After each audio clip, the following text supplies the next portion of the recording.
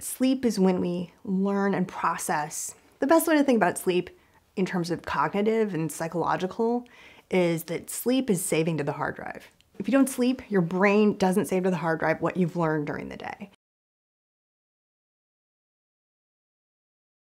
And it's not just one fact is at one particular point in time.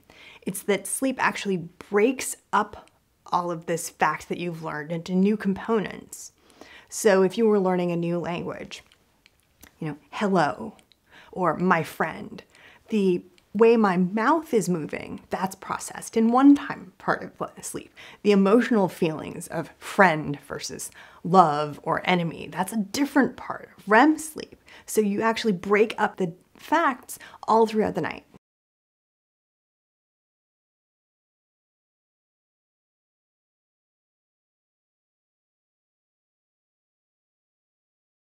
And sleep actually hits different parts of the brain differently. The brain hits the hippocampus harder than it does the amygdala. So when they give college students a list of facts and have them remember them, they're more likely to remember things like cancer and disaster than basket or sunshine.